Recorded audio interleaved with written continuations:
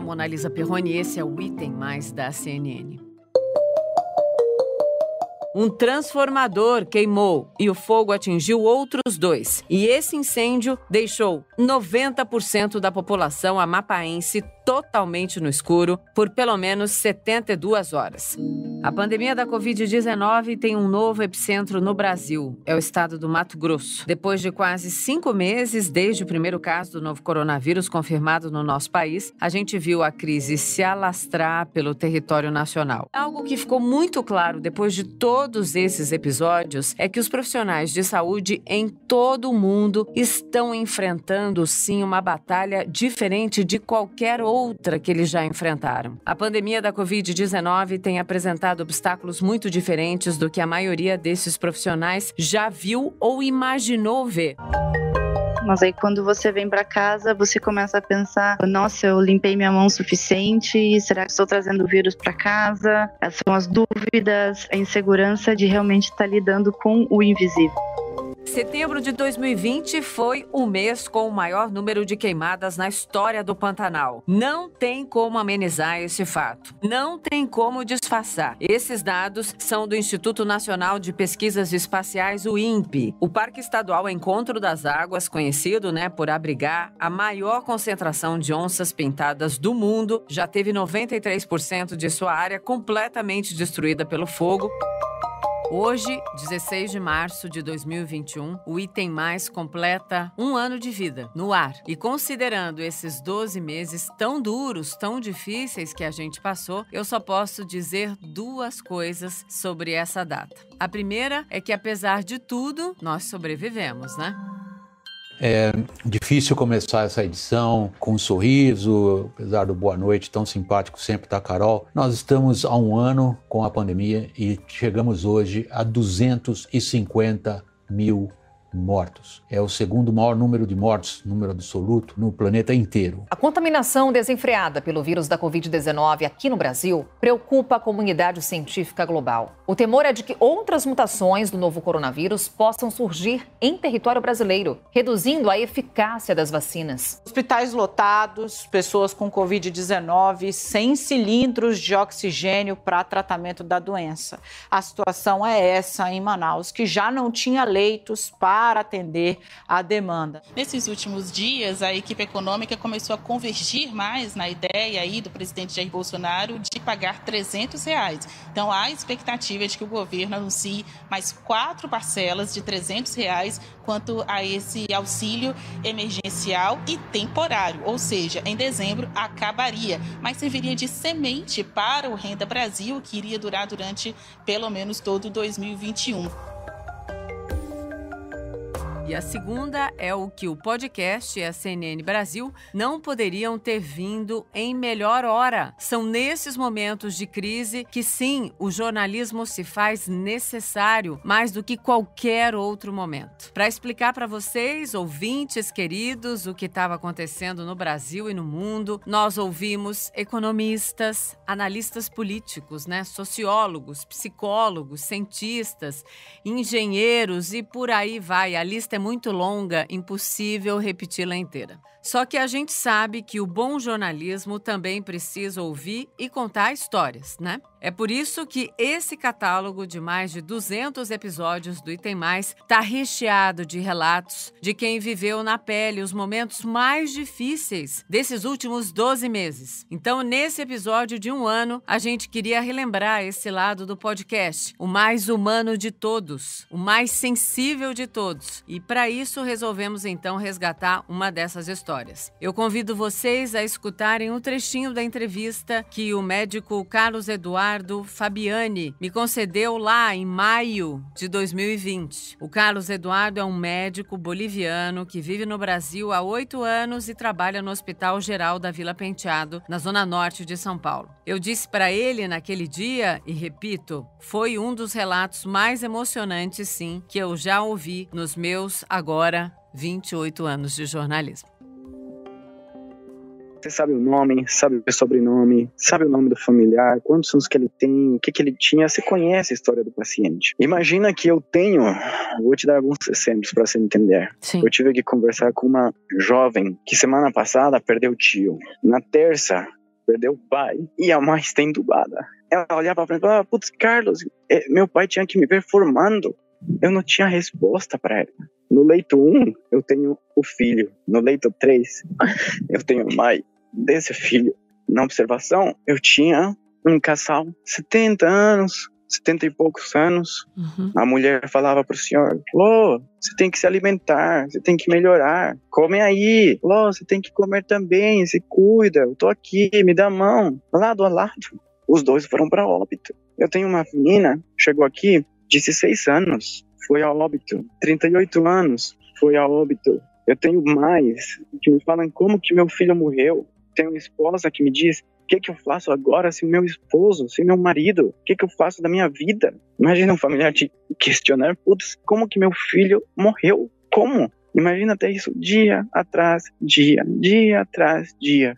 O paciente para, a gente reanima, a gente se expõe a essa carga viral, mas chega um ponto que você não está nem aí para essa carga viral, por isso que tem tanto profissional contaminado, porque mesmo que a população não saiba disso, nós lutamos, ficamos 20 minutos, 30 minutos, uma hora. O outro dia meu médico ficou 50 minutos com uma criança, 50. Reanimando? Ele não largava a criança, reanimando, 50. Ele não largava a criança, não largava.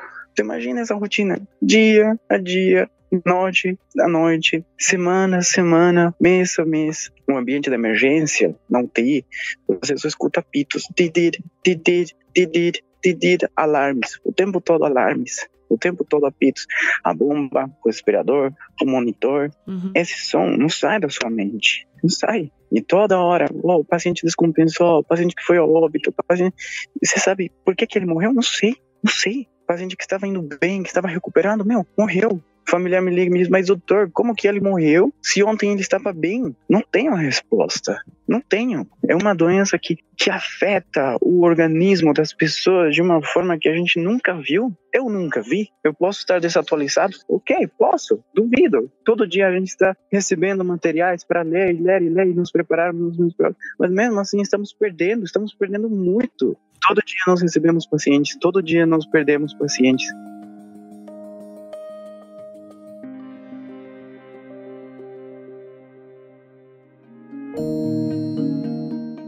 Olá, Carlos. Tudo bem, Monalisa? Meu Deus, que coisa boa saber que nós sobrevivemos. É, nós diferente de vários outros que não, né? É, pois é. Eu quero já dizer para você que o ano passou praticamente, né? E ninguém me tocou tanto quanto você. Nunca esqueça disso, mas você me tocou na minha caixinha da força, na minha caixinha do compromisso com a notícia, na minha caixinha do amor ao jornalismo verdadeiro, na minha caixinha do protagonismo real do meu trabalho, que é um só para a notícia real. Então vamos lá, seguindo esse propósito que eu nunca abandonei. Quero saber como é que você está. Mona Lisa, na verdade, foi um ano cheio de batalhas, de lutas, várias que a gente conseguiu conquistar e, lamentavelmente, muitas das outras não, por inúmeros motivos, né? Durante este ano tivemos uma leve esperança no final do ano, né? Época de Natal, Ano Novo, quando a gente conseguiu diminuir a taxa de transmissão do vírus foi devido a toda aquela campanha que foi realizada no começo de ficar em isolamento, evitar o contato, as medidas de proteção. E lamentavelmente agora nós estamos enfrentando esse segundo boom do vírus. E eu atribuo que seja quase que 100% a toda essa falta de compromisso que tivemos quando nós nos relaxamos durante o final de ano, com aquele pensamento de várias pessoas de que eu já estou cansado, o vírus já diminuiu e eu vou me relaxar com todas aquelas medidas de proteção, de distanciamento, Agora nós estamos enfrentando, lamentavelmente, essa nova onda de transmissão e nós estamos com uma quantidade impressionante de pessoas infectadas e de pessoas que estão evoluindo a óbito. Realmente uma situação muito triste que nós estamos enfrentando agora. E bom, eu acredito que seja só devido a essas situações que nós estamos, ou que nós vivemos naquela época de Natal, Ano Novo, os meses de novembro, dezembro, janeiro, onde tivemos esse relaxamento geral das pessoas. Eu posso chamar de que querido Carlos? Porque você passou a ser uma pessoa querida para mim. Então, eu quero te falar o seguinte: na verdade, perguntar bem papo reto, que foi o nosso fio condutor lá para a nossa primeira vez, para a primeira vez em que você abriu o coração para mim, e eu me senti muito privilegiada por isso, por você me escolher para ser o canal, então, para divulgar uma verdade que naquele momento estava muito doída para você, mas que se fazia necessário ecoar e muito. Então, vamos lá. Eu quero saber você, emocionalmente, como é que você está agora emocionalmente e psicologicamente, apesar de todo o entorno tão complicado? Como é que você está agora? É uma pergunta bem difícil, Mona Lisa. E Primeiro, eu te agradeço muito por tudo que você mencionou e porque realmente naquela época foi uma ajuda que eu tive da tua parte também ter esse desabafo. Mas lamentavelmente o nosso emocional, tanto meu quanto dos colegas, já sejam enfermeiros, técnicos, fisioterapeutas, enfim, de todos aqueles profissionais que estamos trabalhando dentro de um hospital, o nosso emocional está muito abalado porque nós não conseguimos dizer que temos uma doença controlada e muito pelo contrário, hoje, nas últimas semanas, com esse aumento de casos tivemos e os óbitos também aumentaram, tem uma relação direta com a queda e com aquele desequilíbrio que a gente pode ter de forma emocional. Como eu já tinha te dito na outra oportunidade, a gente estuda, a gente trabalha para salvar o paciente, para dar vida, para melhorar aquelas queixas que o paciente pode ter e a gente tenta ser aquele vector ou aquele meio pelo qual o paciente se sente reconfortado. E hoje o nosso emocional ele está tão abatido e tão abalado porque nós não estamos mais conseguindo dar esse conforto e aquela esperança de vida para todos os pacientes e para os familiares deles. Nós estamos enfrentando novamente essa luta que está levando muitos óbitos com um perfil diferente de pessoas, com uma faixa etária diferente de pessoas. Isso só nos leva a ficar muito mais tristes por não conseguir salvar vidas. O hospital onde eu trabalho atualmente está com uma lotação mais do que de 100%. Nós não temos vagas. Hoje mesmo, há poucos minutos antes de você me ligar, a colega da sala de emergência me ligou porque além de estar com tubos nos 10 leitos, nos 9 leitos da sala de emergência, nós estamos intubando pacientes na sala de observação, na sala de trauma. Estamos improvisando áreas para manter doentes intubados. E ela me ligou porque estava precisando de uma força, porque um médico só não consegue dar conta da quantidade de pacientes que nós estamos tendo. Nós temos o preparo físico, emocional, intelectual, só que tem uma hora que não é possível você estar cuidando de 20, de 30, de 35 pacientes numa sala que não deveria comportar tudo aquilo. Então isso acaba fazendo com que o nosso emocional comece a cair. Você vai ficando triste, você vai ficando preocupado. Essa preocupação constante que você tem de fazer o bem para outra pessoa faz com que todo médico se cobre muito. O médico não precisa de alguém para cobrar do trabalho. Ele mesmo se pune, ele mesmo se cobra, porque acredito temos esse desejo de fazer o bem para as pessoas.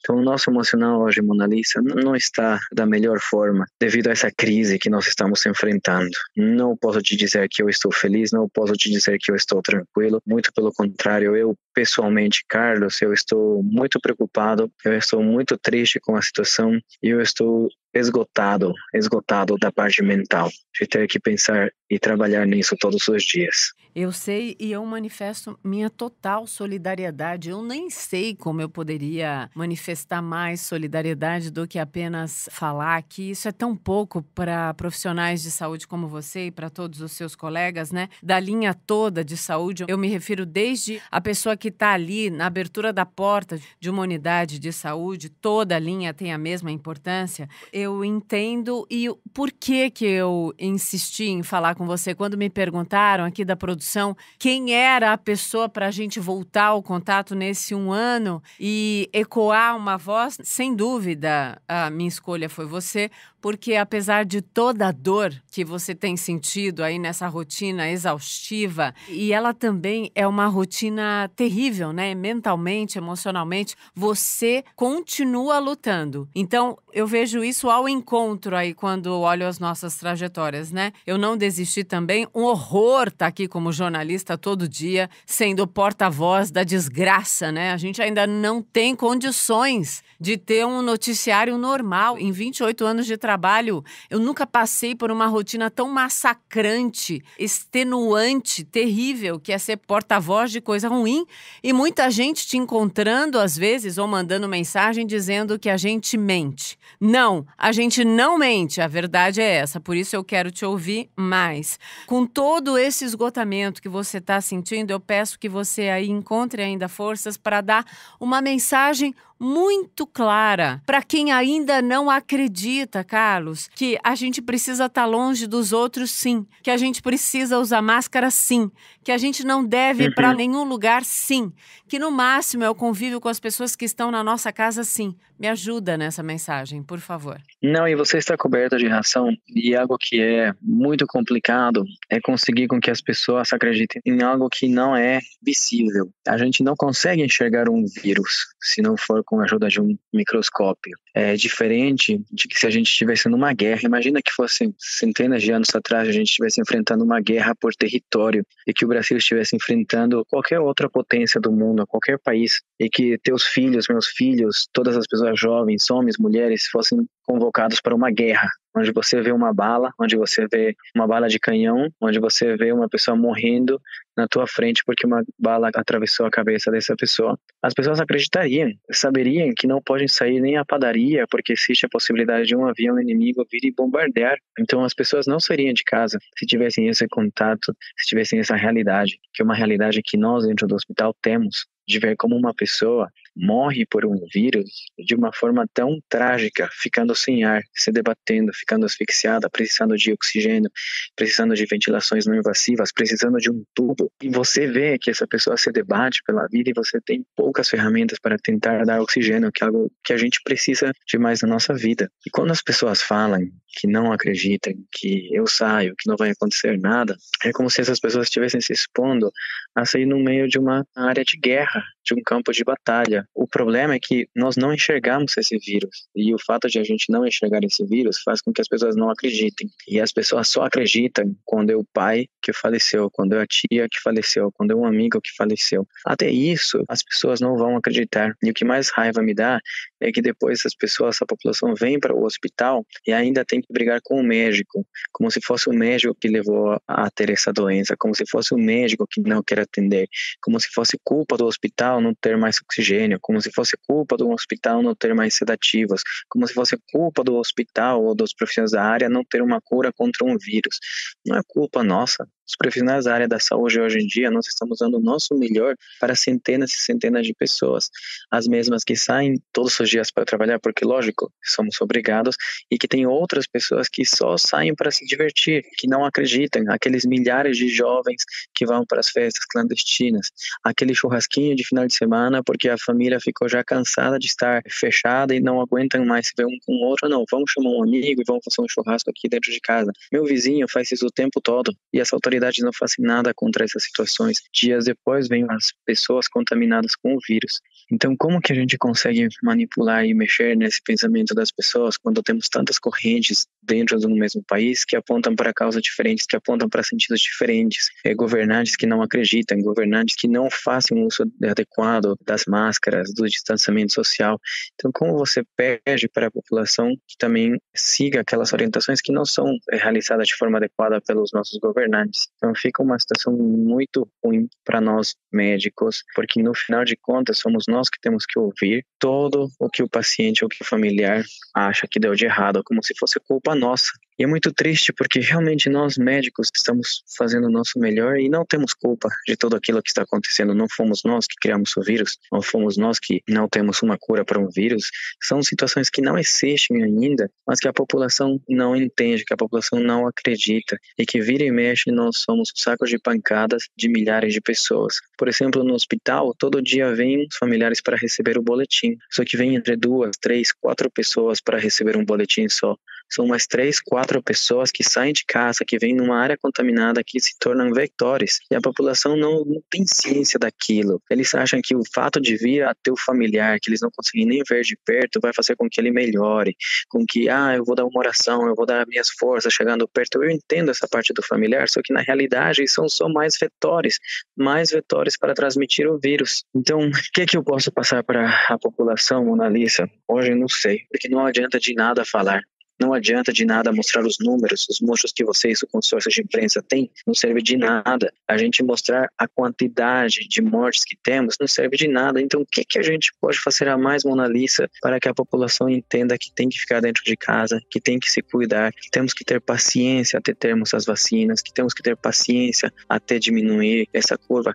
Eu, sinceramente, não sei. Não sei o que mais ou de que forma a gente pode chegar na população para evitar esse contato que querem ter um com o outro. Sim, querido, deixa eu te falar uma coisa. Eu entendo plenamente esse desalento, né? De você que está aí na linha de frente, médico, trabalhando nessa situação tão difícil. Mas eu preciso te dar um relato do lado de cá, de quem nunca desistiu de falar, de contar a verdade, independentemente da pressão que eu tenha sofrido. Que eu estou sofrendo, né? Porque a pressão não uhum. acaba, o meu entorno não acaba. Muitas vezes até meus pares de trabalho falam: nossa, você foi dura demais demais quando falou isso. Não, não tem como atenuar a situação real, a gente tem que ser real sim. Mas eu preciso te dizer que do lado de cá, o que eu tenho visto que funciona, presenciei isso com a minha família, com os meus amigos, com o meu entorno, com as pessoas com as quais eu acabo convivendo, apesar da distância, é que a gente não se calar ajuda. E é por isso que pode não ajudar tanta gente, mas se a gente acessar um coração e uma cabeça, a gente já consegue conseguiu diminuir um dano muito grande, né? Então é nessa linha que eu continuo esse papo com você. Como é o papo da conscientização, eu queria que você contasse para todo mundo que nos escuta, é muita gente que nos escuta todos os dias, qual foi o pior momento, o pior relato. Você acabou de me contar agora há pouco uma coisa que me tocou. Você disse que mesmo ali nos cuidados você viu pessoas se debatendo porque faltava ar e não tinha como essa pessoa ser atendida e sair daquele sofrimento.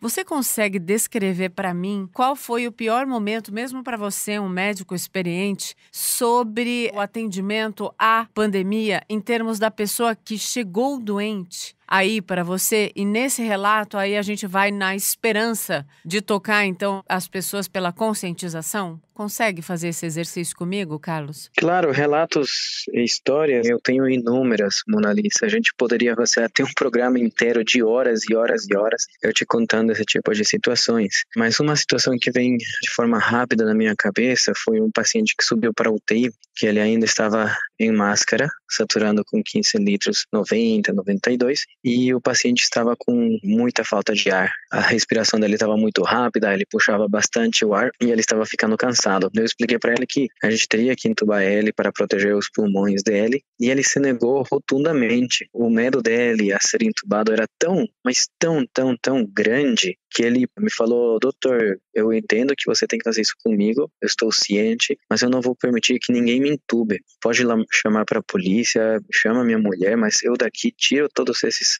cabos que eu tenho e eu saio desse hospital, mas aqui eu não fico porque eu não vou deixar que ninguém me entube. Aí eu tentei convencer ele, tentei explicar a situação, tirei a máscara dele para ver como que ele se sentia e de forma imediata a saturação dele caía até 50, 40, aí ele ficava muito mais ofegante e já ficava meio tonto por conta da falta de oxigênio. Aí eu botei novamente a máscara nele e falei: "Tá vendo que você precisa de oxigênio? Deixa que eu te ajude". Ele falei: "Não, se eu for entubado, eu vou morrer". Falei: "Quanto mais tempo a gente demorar, essa possibilidade de morrer sim, vai ser mais real, mas nós precisamos de entubar você". E ele não queria, ele queria fugir do hospital. Tivemos que chamar a mulher dele para vir conversar, porque envolvia toda uma parte legal. E no final, nós tivemos que mentir para ela. Eu tive que mentir para ela, eu tive que falar para ela que eu ia dar um corticóide na veia para ele se acalmar e ele conseguir respirar melhor e, lógico, com o respaldo da mulher dele, que assinou toda uma documentação, enfim, nós conseguimos fazer um sedativo nele para poder entubar ele sem ele saber. E durante todas essas horas, que foram muitas horas,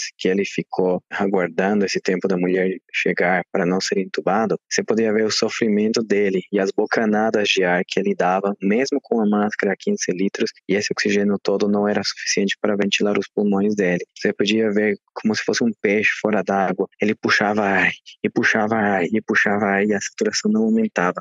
Então foi uma das situações mais fortes que eu vi por conta do paciente ter esse medo a ser entubado, dele não querer ser entubado e produto dessa situação. É, de ter pego esse vírus. Foi uma situação muito, muito triste. A mulher entrou, conversou com ele e ele não aceitava de forma alguma ser entubado, não aceitava. E, lamentavelmente, no final ele teve que ser entubado, sim. E foi um outro paciente que nós perdemos também. Meu Deus, é fortíssimo esse relato. E eu quero, então, aproveitar para a gente já ir para o fim desse papo com esse gancho que você me deu. Para quem ainda insiste em negar o fato, para quem ainda insiste em negar o risco, para quem ainda insiste em negar a atitude correta, o que você diz? Dr. Carlos? Bom, para quem nega, eu gostaria muito de convidar essa pessoa a entrar dentro de um hospital e trabalhar junto conosco um dia. Eu acho que o fato de você viver isso na tua própria pele faria com que ninguém duvidasse do que nós fazemos dentro dos hospitais, dentro dos prontos socorros, dentro das salas de emergência, dentro das enfermarias, dentro das UTIs. Porque o atendimento não começa num UTI, começa num pronto-socorro, nesses pronto-socorros super lotados de pacientes precisando de ar. Para essas pessoas que não acreditam, Mona Lisa, temos os números que falam pela gente, temos as vítimas que falam pela gente e os relatos de inúmeros pacientes que conseguiram se recuperar dessa situação, dessa doença tão grave. Mas se mesmo assim tem alguma pessoa que se recuse ou que não acredite, fica difícil para mim, porque é como você acreditar em algo que não existe, mas que você sabe que está. Podemos entrar nas explicações ou nos exemplos de pôr um pouco de teologia para quem acredita num Deus, seja lá qual for a religião, seja lá qual o nome que a pessoa quiser dar para aquela entidade suprema. Essa entidade suprema ninguém consegue ver, ninguém consegue enxergar mas essa entidade suprema faz e tem uma série de atos através de vetores, através de outras pessoas. Mas nem todos conseguimos enxergar e nem todos conseguem acreditar. Mas isso não faz com que não exista. O mesmo com o vírus. Se tem alguma pessoa que acredita num ser supremo, tem que acreditar no oposto. E no momento, o vírus eu classificaria como aquele oposto de um ser supremo cheio de bondade.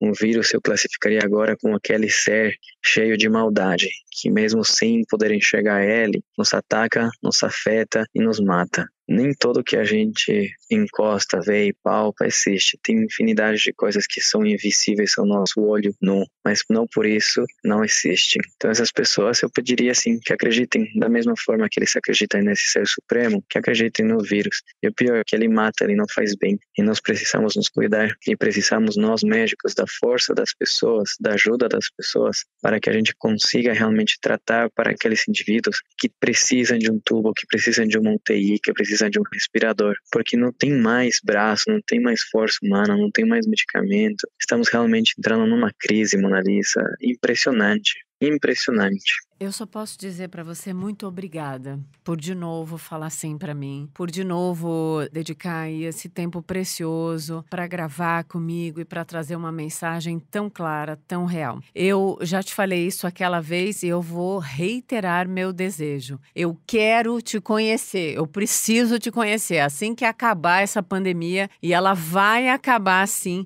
eu quero te trazer aqui na CNN, claro, se você quiser. Eu quero fazer um programa especial com você você. Eu quero te abraçar, porque você precisa de abraço.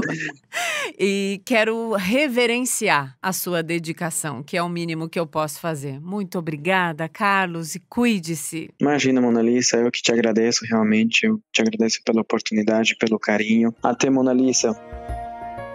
Esse é daqueles episódios para a gente repassar, encaminhar para todo mundo, para quem você ama, para quem você ainda não desistiu de trazer a mensagem correta, para quem você precisa alertar ou trazer para consciência. Amanhã tem mais. Em